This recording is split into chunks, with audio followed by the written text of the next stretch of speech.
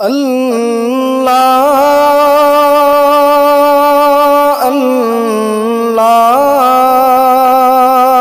अल्लाह अल्लाह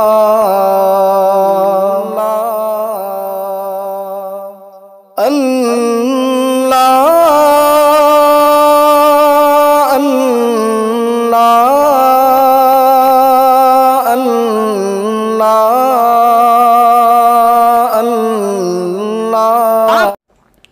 नाजरीन गिरामी असलकम वरहमतुल्लाहि वबरकातुहू।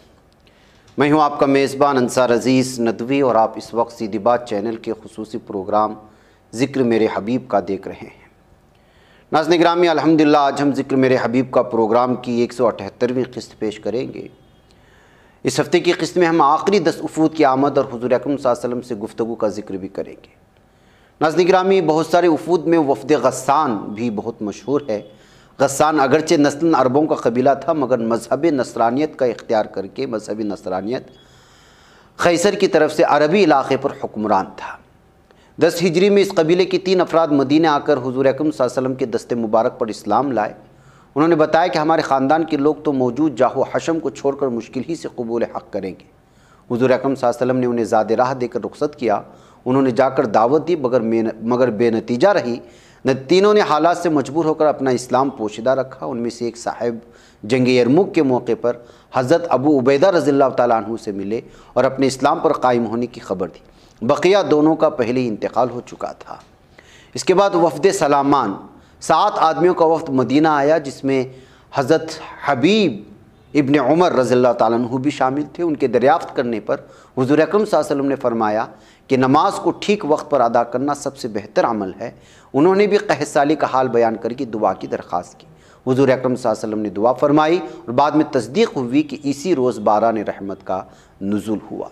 इसके अलावा नाजन में वफ़द बन अबस ये भी इलाका यमन का कबीला था और इस वफ़द में जो शामिल अफराद थे, उसकी तादाद एक रिवायत के मुताबिक सात और एक रिवायत के मुताबिक सत्रह बताई जाती है। इनका वफ़ भी दस हिजरी में आया। इन लोगों ने दरियाफ़त किया कि हमने मालमीन इस्लाम से सुना है कि जो हिजरत ना करे, उसका इस्लाम कबूल नहीं होता। हम लोगों का हाल ये है कि माल मवेशी ही हमारा ज़र मीशत है। अब अगर हिजरत करना ज़रूरी हो तो हम उनको बेच कर आ जाए। जज्ब ईमान देखिए कि एक इशारे पर अपने अमवा और अपना इलाका छोड़ने पर तैयार हैं। हुजूर अकरम वसल्लम ने फरमाया कि जहाँ रहो, खुदा से डरते रहो। दर हकीकत सूरत मामला यूँ थी कि इब्तदाई दौर में जब मरकज़ी इस्लाम को मज़बूत करने के लिए क़वत को यकजा करना और मुल्क भर में काम करने के लिए अफराद का तैयार करना मतलूब था तो हिजरत करके मरकज़ में आना फ़र्ज़ किया गया।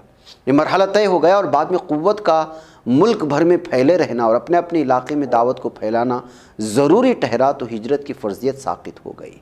ला हिजरत बादलफ़त का हुक्म इसी दूसरे दौर से मुतल है।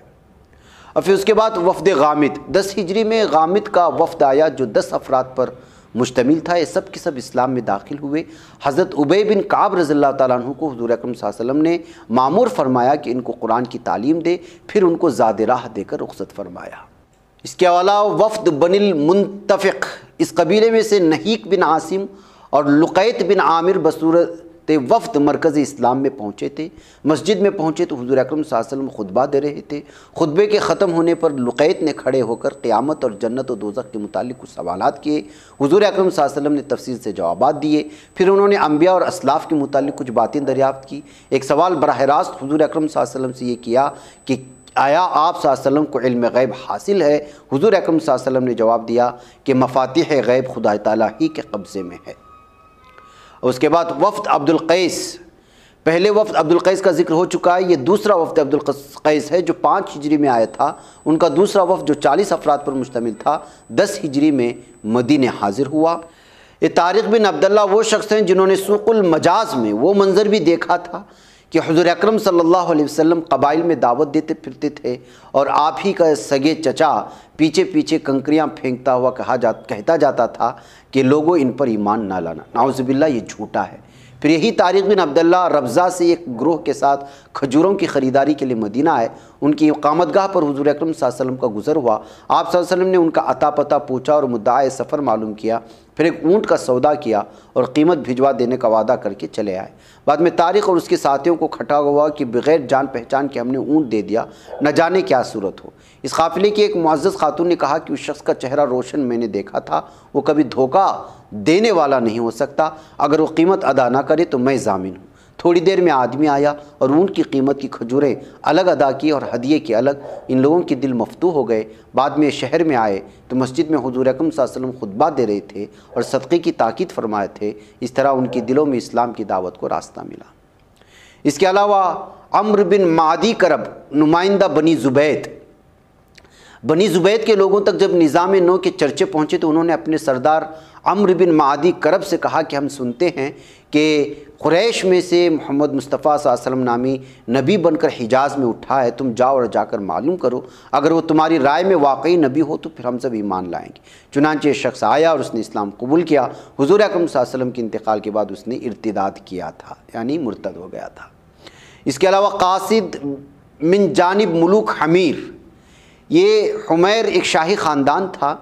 इसकी तरफ़ से कासिद ख़त लाया। इस ख़त में हारिस बिन अब्द कलाल नईम बिन अब्द कलाल नौमान, कबल ज़ोर आइन माफिर और हमदान के कबूल इस्लाम और तर्क शिरक की इतला थी।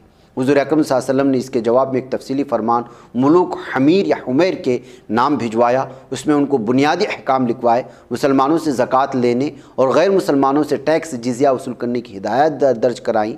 नीज़ लोगों की मजहबी आज़ादी का हक़ सब्त फरमाया और वजाहत की कि जो लोग यहूदी या नसरानी रहना चाहें, उनका मज़हब जबरम तब्दील नहीं किया जा सकता। इसी के साथ साथ फरमान में लिखवाया कि ज़रा जुवीज़न की तरफ़ हमारे नुमाइंदा अफसर माज इबन जबल, हज़रत अब्दुल्ला इबन जैद हज़रत मालिक बिन उबादा हज़रत उकबा बिन नमर और हज़रत मालिक बिन मुर्रा और कुछ दूसरे लोग रवाना किए जा रहे हैं। इस जमात के सरबराह माज बिन जबल हैं। ये हमारे अहकाम पहुँचाएँगे और सदका व जिजिया की रकम जमा करके लाएँगे। इसके अलावा वफद नक़ा, ये भी यमन ही का एक कबीला था। ये अक्सर रिवायत के बमुज आखिरी वफद है जो ग्यारह हिजरी यानी मुहर्रम में के महीने में मदीना आया। इसमें 200 आदमी शरीक थे। दरअसल ये लोग हज़रत माज बिन जबल रजल्तान के हाथ पर इस्लाम की बैत कर चुके थे। दिलों के इनकलाब ने तकाजा किया तो ये मरकज़ी इस्लाम में पहुँचे। हुजूर अकरम सल्लल्लाहु के सामने अपना इस्लाम पेश किया। एक रुकन वफद ने अपने ख्वाबों की ताबीरें दरियाफ़त की और मुख्तसर क़्याम के बाद वापस हो गए। इन वफूद की आमद इस कसरत से और इतनी पैदर पे हुई है कि सही मानों में यदखलून फ़ी दीन अफवाजा का मफहम सामने आ जाता है। दर हकीकत इंसानी फितरत ख़ुद हक़ की तरफ़ झुकाव रखती है और फिर महसिन इंसान वसल्लम ने न सिर्फ़ कुरान के इस्तदलाली ज़ोर और दिलगुदाज उसलूब बयान के साथ हक़ को पेश किया था, बल्कि अपनी मुक़दस सीरत और अमली ज़िंदगी से उसकी सदाकत का ऐसा कामिल मुजाहरा किया था कि इंसानियत राम हुए बग़ैर नहीं रह सकी। अवामनास के रास्ते में रुकावट थी तो सबक जाहिली क़ियादत थी। वो जब हट गई और साथ ही जब उनको इतमान हो गया कि मदीने की इस्लामी ताकत एक मज़बूत ताकत है और उसके हाथों से वाकई खैर फलाह फैल रही है और कोई सहल सुबुक सैर के आगे जम ना सकता, फिर उनके सीने सच्चाई और नेकी के पैगाम के लिए पूरी तरह खुल गए। उन्होंने ख़ुद अपने अंदर से इस नूर सदाकत की प्यास महसूस की, इस प्यास से बेताब हो होकर मदीने की तरफ़ लपके, वहाँ से सागर भर भर के पिए और फिर जाकर अपने अपने इलाक़ों और कबीलों में खम के खम लंढा दिए थे। यूँ उजाला फैलता चला गया और जुल्मतें काफुर होती चली गई। नाजिन इसी के साथ उफूद का तस्करा आज हमारी इस नशिस्त में ख़त्म हो जाता है। फिर मज़ीद जो है आपके सामने अगले हफ़्ते किसी और मौजू पर गुफ्तु होगी। मुझे यहाँ पर इजाज़त है असल वरहमल वर्क